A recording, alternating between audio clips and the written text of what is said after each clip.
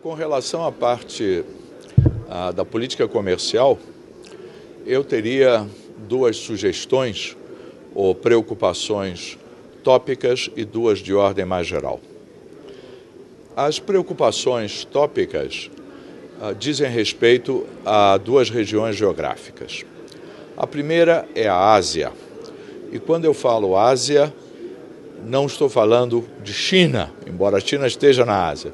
Estou falando do enorme conjunto de países dessa região, particularmente a ASEAN, que é um grupo muito interessante e estratégico para nós, e eu acho que os nossos esforços comerciais nessa área têm sido muito tímidos.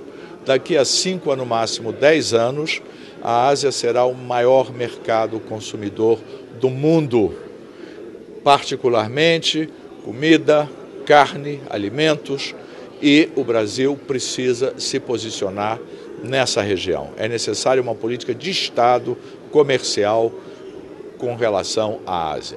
A segunda uh, área é o nosso entorno, é a América do Sul. A América do Sul é outra região fundamental.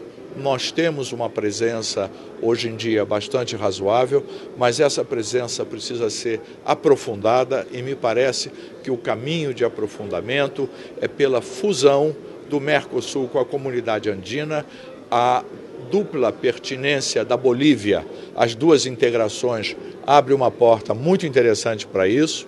Isso levaria, através de diretivas, é muito simples, reproduziríamos o que a comunidade andina fez, aboliríamos progressivamente a União Aduaneira, formaríamos uma grande área de livre comércio e abriria, facilitaria, melhor dizendo, a criação de uma plataforma produtiva nessa região, aonde o Brasil pode ter e deverá e tem que ter um papel destacado.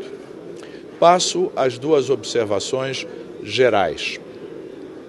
A primeira é que, sem dúvida, há que liberalizar. Necessitamos liberalizar a nossa política comercial. Agora, liberalização não é uma panaceia. Liberalização é algo que tem que ser feito de modo inteligente. E para isso, é necessário um conjunto de deveres de casa que eu não vejo estarem sendo feitos.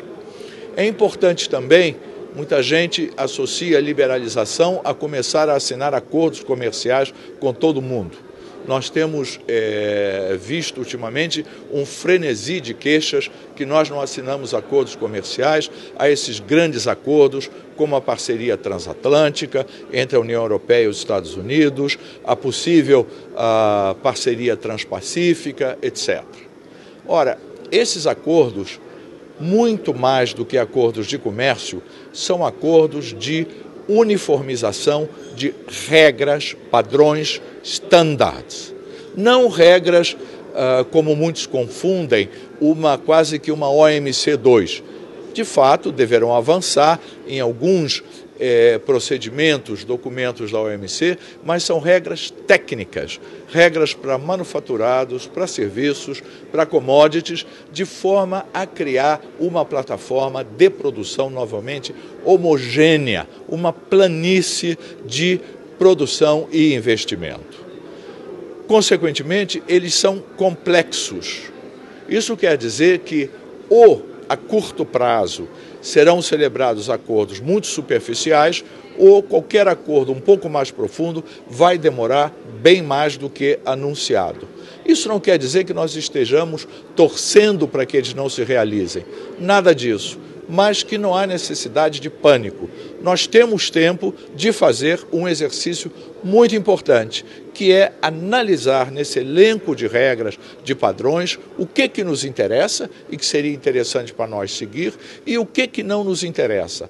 E nesse segundo conjunto, nós devemos buscar parceiros para criarmos também a nossa região, a nossa plataforma. Por exemplo, ah, na América do Sul, mediante uma combinação dos países atlânticos com os países pacíficos, que a eleição da senhora Bachelet abre possibilidades adicionais para essa integração na Ásia e outros países.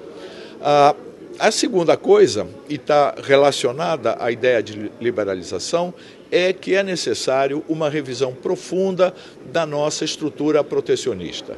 Essa estrutura, como se sabe, se decompõe em barreiras não tarifárias e tarifárias e ela está extremamente ultrapassada, distorcida.